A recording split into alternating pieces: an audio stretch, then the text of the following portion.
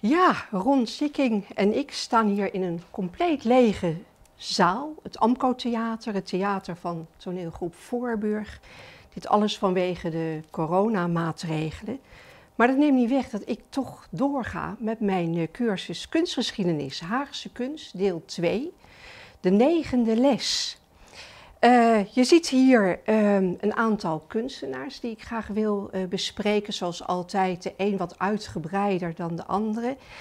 Ralf Prins, Marianne Dommissen, George Lampe, Ber uh, Mengels, Theo Bitter, Aart van den IJssel en Jaroslava Dankova. Het zijn er nogal veel dit keer. En daarnaast niet alleen schilderkunst. Ik heb natuurlijk vooral over de schilderkunst gesproken, maar nu zijn het ook beeldhouwers, uh, fotografen. Uh, dus het wordt wat diverser, dit verhaal, zomaar in het lege Amco Theater. En ik begin hier met Ralf Prins. Haags kunstenaar, hoewel in Amsterdam geboren in het jaar 1926. Rafael Moses, zoon van Isaac Prins. Een Joods gezin, en de oorlog, de Tweede Wereldoorlog, is uiteraard van zeer grote invloed geweest op zijn werk, op zijn uh, leven. Misschien is hij wel het bekendst uh, geworden uh, om dat prachtige monument in Westerbork. Is in 1970 toen onthuld. Ik laat zo dadelijk ook het plaatje zien. Over een paar dagen zou er een, ja, een, een, herinnering zijn, maar dat gaat ook vanwege de corona niet door. Ik laat het zo dadelijk zien. Maar eerst even een mooie foto van Ralf Prins, deze zeer veelzijdige uh, kunstenaar. Typograaf, tekenaar, portretist, fotograaf, theaterfotografie heeft hij gemaakt. Ik vond dit wel een mooie uh, foto. Het is een uh, foto in de oorlog gemaakt in het jaar 1942 van het Joods Lyceum in Amsterdam. Het is een, je ziet iedereen lachen. dat middelste meisje, dat is uh, Anneke van uh, Messel, die ze zit daar stralend. Ze gaat naar Amerika toe. Ter gelegenheid daarvan is deze foto genomen. En uh, helemaal achteraan, aan de rechterkant, kijk maar even goed, dat is de, een hele jonge Ralf Prins. Amsterdams Lyceum. En even later gaat hij naar de kunstnijverheidsschool, dus Joodse kunstnijverheidsschool. Dan gaat hij heeft een, een, een, een, een bijzonder uh, talent. Dat heeft hem waarschijnlijk ook wel gered. Hij komt in Westerbork terecht. En zowaar in Westerbork krijgt hij les, krijgt hij les van een uh, kunstenaar, van een uh, beeldhouwer. En dat is Jobs Wertheim. Zoek maar op, een bijzonder beeldhouwer. Daar krijgt hij lessen van in Westerbork. Zoals ik al zei, ik laat zo dadelijk dat prachtige monument zien. Maar eerst een portret. Ik denk wel dat je het uh, herkent. Deze, uh, dit, uh, deze beroemde schrijver, dat is natuurlijk Frans Kafka. Dat maakte hij in 86. En uh, er is hem wel eens uh, gevraagd in interviews van ja, je doet zoveel, hè, typografie, affiches, fotografie. Maar wat is nou eigenlijk het belangrijkste? Nou, hij vond het heel erg moeilijk om daar een antwoord op te geven. Maar toen toch na een tijdje zei hij, ik zou niet zonder portretten kunnen. Ik moet portretten maken. Uh, en dan natuurlijk vooral ook portretten van mensen die hij heel bijzonder vond. En dat is dus deze Kafka. Ik wil er graag uh, mee beginnen. Ik zei al 87 heeft hij dit uh, gemaakt. Hij was daar, um, het werd uh, geëxposeerd in Amersfoort, in de Zonnehof. Daar kwam toen een mooie brochure uit. En ik wil daar iets uit voorlezen. Want de interviewer vraagt dan hem: waarom begin je aan een portret van Kafka? Hoe ontstaat zoiets? Is er een innerlijke uh, drijfveer? En dan zegt Ralf Prins: Ik richt mij nu even uitsluitend op Kafka en vergeet de andere portretten. Ik ben betoverd door zijn schrijven. Zijn werk heeft diepe sporen in mij nagelaten. Het kijkdier dat ik ben, heeft dan contact met het handjevol foto's dat van hem bestaat. Hoe zou je Kafka tekenen als hij voor je zou poseren? Dat fantaseer ik dan. Die foto's zijn vormaangevers. Ik probeer in de portretten van hem een evenwicht te vinden tussen zijn buitengewoon intelligente, alerte observeren en zijn grote gevoeligheid die je ervaart als hij je aankijkt. Dat wil ik er allemaal in hebben. Maar ook de sluier van weemoed, ook zijn Jood zijn, heeft hiermee te maken. En die mengelmoes waarover ik weet dat hij heeft geschreven en die ik dan meen te herkennen in dat gezicht. Dat is het wat ik probeer in de tekening te leggen. Een prachtig portret van Frans Kafka uit 86. Ja, portretten. Een mensenmens was uh, Ralf Prins. Hij, ik vertelde dat hij in Westerbork terecht kwam. Hij krijgt daar lessen van, uh, van een bijzonder beeldhouwer, Jops Wertheim. En hij komt ook terecht in Theresienstad. Hij heeft het overleefd. Ik zei het al, gelukkig heeft hij het overleefd. En dat heeft iets te maken met zijn talent, zijn tekentalent. En na de oorlog in Amsterdam gaat hij naar de kunstnijverheidsschool Quellines, maar ook naar Den Haag, de Haagse Academie. De Koninklijke Academie voor Beeldende Kunsten, waar hij les krijgt van onder andere Kiljan en uh, Paul Schuitema. Zelf heeft hij ook lessen gegeven. Een jaartje op de Vrije Academie in Den Haag, maar ook aan de Academie Minerva in uh, Groningen. Zoals u ziet, ik heb hier nog een portret. U, u, herkent hem natuurlijk onmiddellijk. Dat is een portret van Willem Drees. Vadertje Drees uit 1988, dus dat is zijn uh, sterfjaar. Vadertje dreef en dan drees. En kijk dan vooral ook naar die ogen. De ogen, zoals je weet, dat zijn de spiegels van de ziel. Die twee ogen zijn totaal verschillend. Is ook een truc. Nou ja, truc klinkt een beetje onaardig, maar toch, hè, voor de kunstenaar, je moet nooit een gezicht aan twee kanten precies hetzelfde maken. Hè, je, je wil bewegelijkheid in een portret. Vadertje Drees, hè, van 48 tot 58, minister-president, minister van Algemene Zaken, zo belangrijk geweest na de oorlog om onder andere zijn sociale wetten. Wat een prachtig portret van Willem Drees, vadertje Drees. Portretten heeft hij gemaakt van rabbijnen, zoals hier bijvoorbeeld in 1990.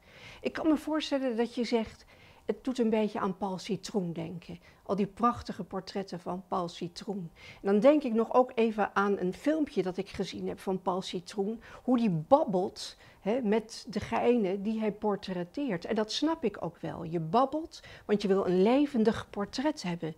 Anders, je wil natuurlijk geen stil leven hebben. En als ik kijk naar zo'n portret, dan denk ik, hij weet de ziel erin uh, te verwerken. Maar ja, ik zei al, Ralf Prins is niet alleen portretist. Hij is uh, ook typograaf en hij is fotograaf. En een, misschien herken je het nog, in de jaren uh, 80 heeft hij een aantal keren um, schitterende affiches gemaakt voor Amnesty International. En dat is natuurlijk een heel groot verschil, een portret of een affiche. Een portret, daar mag je een bepaalde dubbelzinnigheid in brengen. Uh, iets dubbels, iets, een, bepaalde gelaagdheid. Dat is een verschil met een affiche. Bij een affiche moet je in één keer zien waar draait het om. Hè? Um, en uh, nou, dat is, lijkt me, heeft, is hij daar hier heel erg goed in geslaagd. Een affiche uit 87, Let People Go. Kijk eens even naar die Oh Go. Dus uh, je ziet um, hoe hij hier de boeien daar eentje heeft uh, opengebroken. Laat de mensen gaan. Amnesty International. En kijk eens naar dit affiche dat hij heeft gemaakt. Uh, heel bijzonder. Hij wordt dus een Haags kunstenaar. Hij ging uiteindelijk in, uh, hij is met een zangeres getrouwd, krijgt drie zonen. hier zie je een, een affiche heel indrukwekkend. Wat moet het voor hem ook weer aangrijpend zijn? Want je ziet hier natuurlijk een profiel dat gemaakt is, opgebouwd is uit prikkeldraad. Heel bijzonder, heel sterk affiche. Je ziet ogenblikkelijk waar het hier om gaat. Ja, affiches voor Amnesty, Maar ook affiches voor het theater heeft hij gemaakt. Ik vond het leuk ook om deze te laten zien. Dus in seizoen 84, 85, je ziet hier staan het uh, Ro Theater, dus het Rotterdamse theater, het Ro Theater, een, um, onder regie van uh, Antoine Uitenhaag, een voorstelling dat heet God. God van uh, Woody Allen. En je herkent het natuurlijk ogenblikkelijk, heel geestig. hij heeft hier gebruik gemaakt van een beroemd ontwerp van Jan Misset voor het drostenblikje. God komt steeds weer terug. Het droste-effect. Kijk eens even naar dat prachtige gezicht. Een, een Woody Allen. Geestig affiche voor het Rood Theater. Ook voor een theateraffiche geldt natuurlijk. Het moet in één keer aanspreken. Uh, ga naar het theater. Of kijk eens even hier naar dit affiche. Ga naar het museum voor het poppenspel. Een heel ik ga eens kijken, ik ga even terug. Een heel ander soort uh, affiche. Hij heeft wel eens, deze Ralf Prins, het verwijt gekregen. Doe je niet te veel? Heb je niet te veel stijlen? Ik zou haast zeggen, dit doet een beetje aan Emile Nol denken. Dit expressieve portret dat hij gebruikt heeft voor uh, het affiche voor het poppentheater Guido van Det. Nou, de meeste mensen die in, uit Den Haag komen, kennen het wel. Ik ben daar zelf ook wel naartoe geweest. Hè, het beroemde... Um, uh, poppentheater, hè, na de oorlog opgericht, na de oorlog. Wat een elan was er toen onder kunstenaars.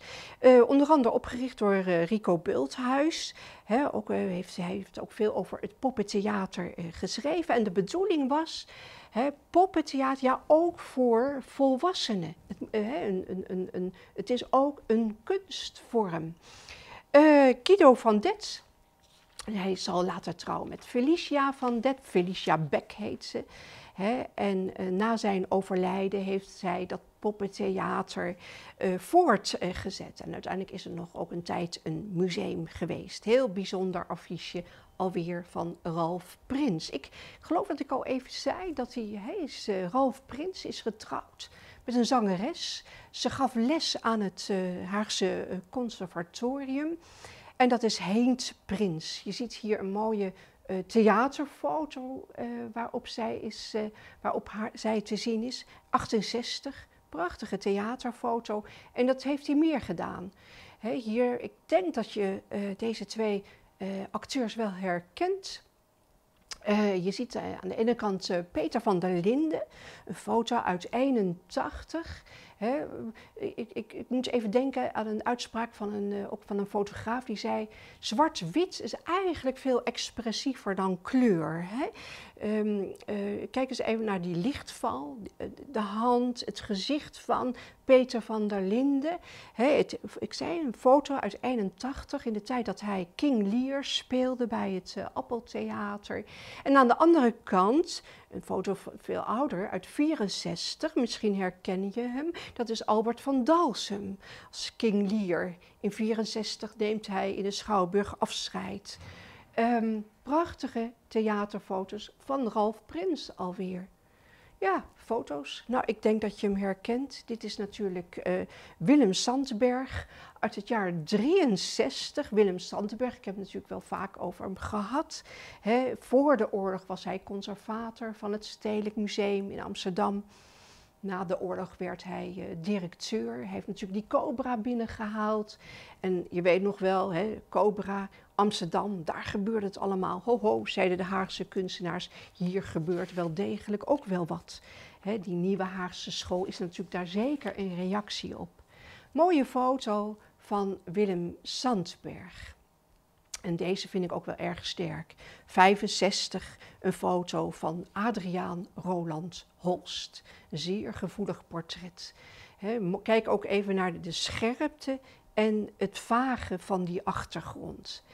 Um, ja, zeer veelzijdig kunstenaar. En natuurlijk wil ik dan hiermee eindigen wat betreft Ralf Prins. Dat is dat schitterende nationaal monument Westerbork. In 1970 werd het uh, onthuld. Uh, eh, 12 april wordt het altijd herdacht, het kamp Westerbork. En je ziet hoe Ralph Prins twee spoorrails heeft gebruikt uh, gebogen, gehavend ook, gehavend als een soort uh, wanhopige armen. Uh, die Drentse zwerfkeien die aan elkaar geplakt zijn. Er zit een kleine helling omheen. Het symboliseert natuurlijk, het symboli symboliseert natuurlijk, het verwijst natuurlijk naar de treinen die vanuit Westerbork vertrokken naar de concentratiekampen. Een prachtig, heeft trouwens overigens Ralf Prins meerdere uh, schitterende oorlogsmonumenten uh, ontworpen. Maar ja, ik wil graag ook vandaag wat andere kunstenaars bespreken, maar ik kom zeker nog wel eens terug op Ralf Prins in een andere cursus. Fotografie, ik zei het wordt een beetje een divers verhaal vandaag en ik wil graag iets vertellen over deze bijzondere vrouw.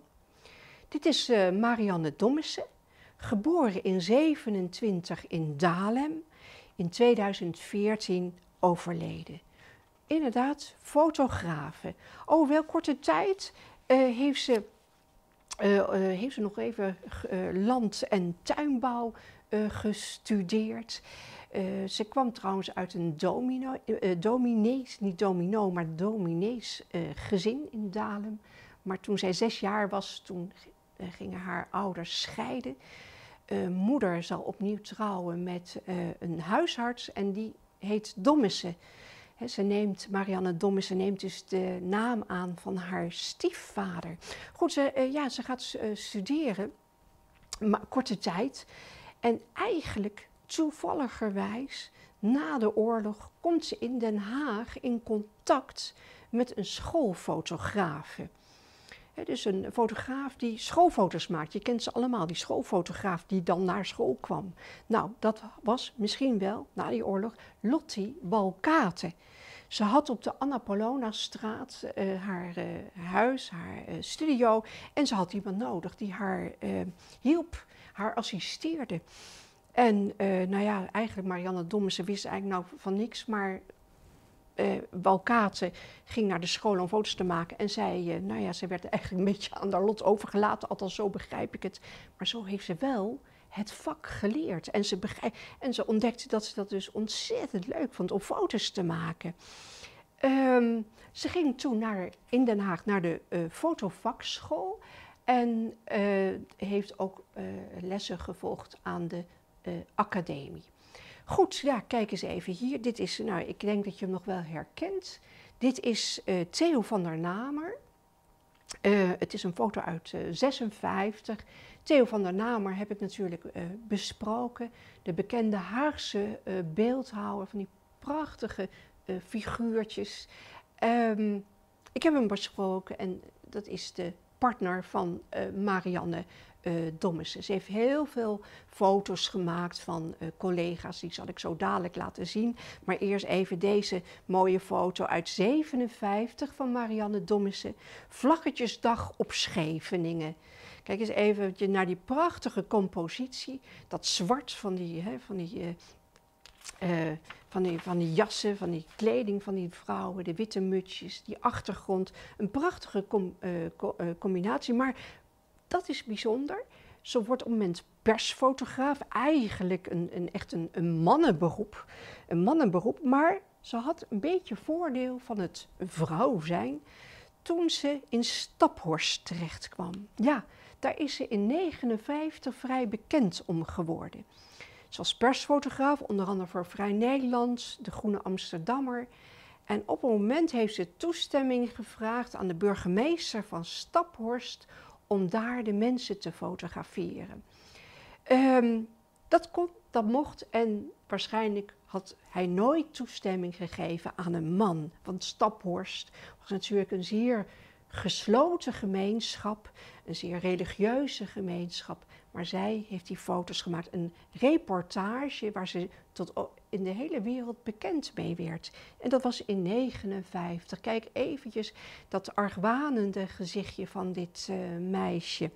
Marianne Dommessen. Ze is er bekend mee geworden in 1959. Hier nog zo'n mooi, uh, mooi tafereel. Staphorst. Nou ja, zoals ik al zei, uh, ze heeft veel, uh, ze, ze, bewoog zich natuurlijk in die kunstwereld, die Haagse kunstwereld. Ook door haar man natuurlijk. Ze krijgen een uh, zoon, Marco. heeft hij ook veel, hij is uit 1960. Ik heb nog met hem op school gezeten, trouwens, tussen haakjes. um, hij, ze werd dan gevraagd, Pulgi Studio, om foto's te maken van de Pulgi-leden. Uh, en ze schreef ook stukjes voor het Pulgi-blad. Dat heeft ze jarenlang uh, gedaan. Misschien herken je deze uh, kunstenaar ook. 56, dat is Ferry Slebe. Foto van Marianne Dommissen. Ik ga er ietsje, ietsje sneller doorheen. Dit is Willem Schrover. Heb ik natuurlijk ook vrij uitgebreid besproken. Willem Schrover, jarenlang natuurlijk lesgegeven aan de Haagse Kunstacademie. Vele kunstenaars heeft hij, heeft hij opge, opgeleid, een foto uit 56. Eh, Deze heb ik ook, geloof ik, wel eens eerder laten zien. Vele foto's heeft ze gemaakt van Lottie van der Gaag. hier in 57 bijvoorbeeld. Lottie van der Gaag, de beeldhouwster, die wel degelijk bij Cobra hoorde dat was natuurlijk een uh, discussie. Lottie van der Graag hier in haar atelier aan de Malle Molen. En misschien is ze daar ook nog wel bekendst om geworden. Die prachtige foto's die ze maakt, een hele serie van een piepjonge Jan Kremer. Nou ja, heb ik natuurlijk ook besproken. Jan Kremer, bekend natuurlijk van het boek Ik Jan Kremer uit 64, maar hij begon toch echt als beeldend kunstenaar. Weet je nog wel, dat grote, enorme werk hè, als een materiekunstenaar, uh, de, zijn televisieoptredens waarin hij allerlei wonderbaarlijke uitspraken deed. Nou, in ieder geval, het was natuurlijk de provoot onder de kunstenaars. En hier een foto uit 59 uh, op de Annastraat. Kijk ook even naar dat tegenlicht, van, prachtig mooi. Of hier hier is hij natuurlijk helemaal de echte provo, ja, provocerende uitspraken deed hij natuurlijk op de televisie. Uh, Bogart was zijn grote voorbeeld. Hier nog een foto ook op de Annastraat in Den Haag. Maar ik ga weer verder. Je ziet wel, het zijn um, de foto's, dat zijn niet even zo wat kiekjes. Uh, ze zijn gecomponeerd. Een prachtige uh, ritme zit erin. Daar zit een, die, dat, dat licht-donker effect. Haagse nozems. Haagse no nozems met poegs uit 62. Maar ook een hofvijver uit 1960. Het Haagse gemeentearchief heeft werk van haar. Het gemeentemuseum uh, heeft werk van haar. is flink aangekocht. Leiden natuurlijk ook, hè, de Leidse Universiteit. Hier zie je de Hofvijver. Kijk ook eventjes naar die mooie compositie. Hè, licht, donker. Uh, aan die bovenkant die blaadjes. Hè, een mooie afsluiting aan die bovenkant die blaadjes en die spiegeling, die schaduw uh, daar op, op de stoep. Marianne Dommissen. Nou, hier heeft ze een prachtige foto gemaakt van de kunstenaar Georges Lampe. Georges Lampe, uh, geboren 21, gestorven in, uh, in uh, even kijken, 82. Een foto heeft ze hier gemaakt in 56.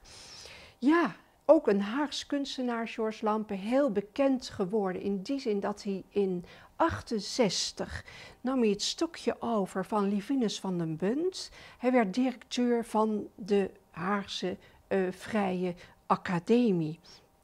Een uh, zeer inspirerend docent is hij geweest, hoor je altijd.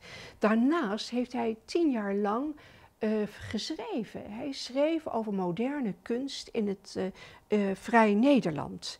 Hij was getrouwd met Elisabeth Maria Lampe Sandberg, maar beter bekend als Bibeb, de bekende uh, interviewster hef, ook van het Vrij Nederland.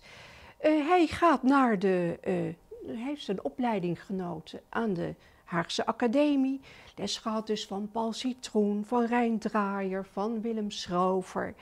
En ja, ik heb hier een mooi werk van hem. Hij was natuurlijk ook lid van die typische Haagse kunstgroepen, zoals verve, Fugare, de Posthoorngroep. Nou ja, daar heb ik natuurlijk uitgebreid over eh, verteld. Allemaal als Haagse tegenhanger van ehm, de Cobra beweging. Dit doet ook een beetje Cobra-achtig aan, hè, dit werk van George Lampe, eh, een werk uit eh, uh, 56. Het is zeer expressief. Kijk ook maar even die, die, dikke zwarte lijnen daarin. Eh, het heeft eh, geen eh, titel, dit werk. En hier nog een heel bijzonder werk van Georges Lampe.